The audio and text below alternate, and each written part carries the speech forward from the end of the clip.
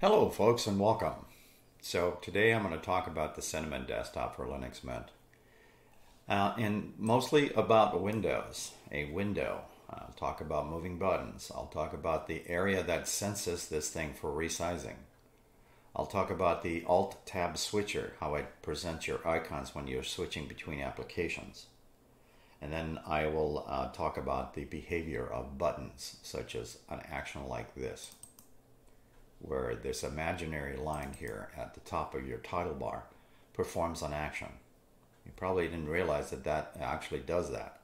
A lot of people are always aiming for that button. In either case, I'm going to talk about those little features. This uh, video is for anybody running Linux Mint 21.1 Cinnamon Desktop. If you don't know anything about my videos, they all have timelines or chapters. I do encourage that you go read my About section because one of the uh, comments that I make in there is Linux is for any age. And also take a look at my uh, my community tab. All of my videos are searchable and I have quite a few videos on Linux Mint, Cinnamon. And a couple I think on, on different uh, other Linux Mint um, systems or desktops. I'm going to close that and right click on my panel bar and talk about system settings for a second. You can go to the menu and do the same. But I'm going to talk about Windows here today. Mostly. I'll make one mention of scroll bars toward the end. So moving these buttons around is a piece of cake. You just slide that over and you got uh, right or left. Okay, I think most people probably can figure that one out pretty easily. But this one here, a lot of people overlook. And uh, what that means is um, action on title bar, double click, toggle maximize. That means tap, tap, tap. If you're using a touchpad maybe, or as in my case, I'm using a standard computer mouse. It's USB based with a scroll wheel on it. Just tap, tap on that bar. Okay. So there's some other options though. Now, if you are going to alter anything on this menu, first of all, it does affect some other things in your system.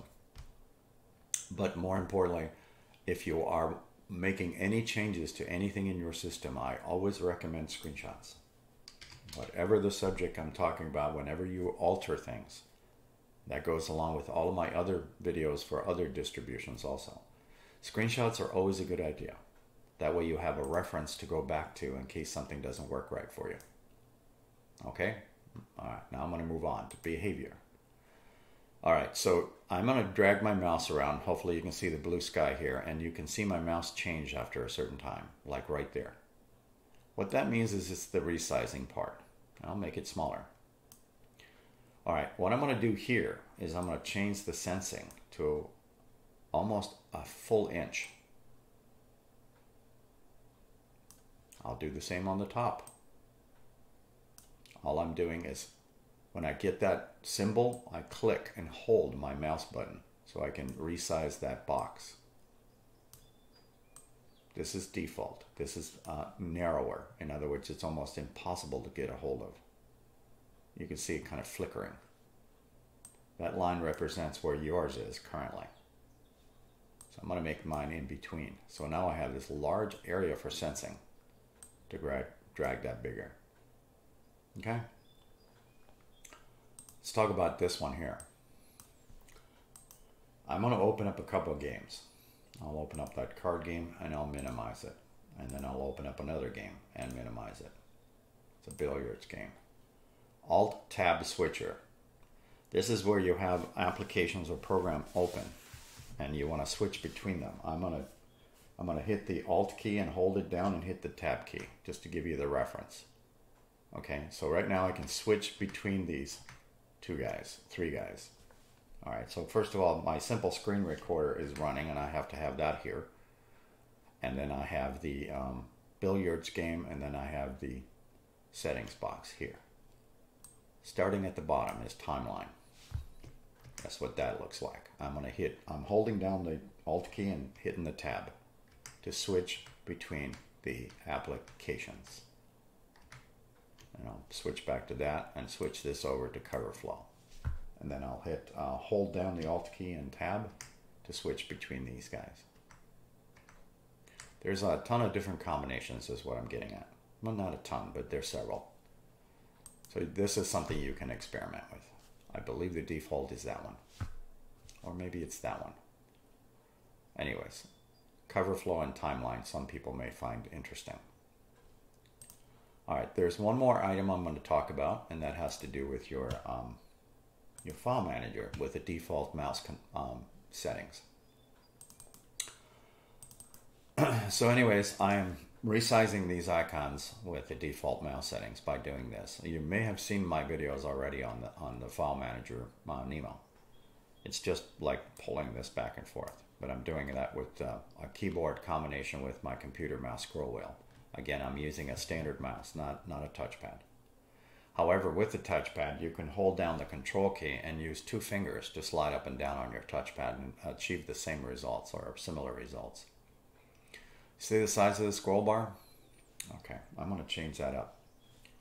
So I'm going to right click and go to system settings for a second and jump from windows to themes just for a second, just because it has to do with this window. And then I'm going to slide this on. This is override current theme scroll bar width. And I'm going to go from 10 to like a 21. So then I'm going to close this and reopen it. Since I'm dealing with wallpaper, there's the size of that scroll bar now. so again, I'm going to resize the icons and you'll see the width of this or the length of the scroll bar change. Not the width, but the length. Okay, because it's in a large icon format and that becomes that size now and you'll see it move as I scroll back down. And then I'm going to hold down the control key and scroll up to make that a little bit larger because my icons are smaller. So that means this will become larger. You can grab a hold of that or you can just use your mouse to scroll up and down, providing you're using a standard a mouse. If you're using a touchpad, I believe you use two fingers to scroll up and down. All right, so if you don't like the size of that bar, go investigate this setting right here.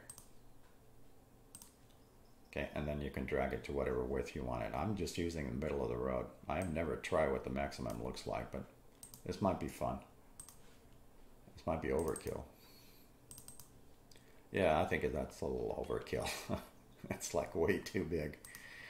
Uh, anyways, folks, you get the idea. So let me return that back to where uh, something more reasonable, somewhere in that region.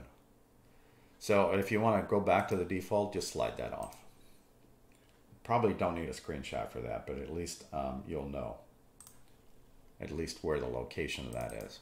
Now that should be a default scroll bar and it's kind of thin.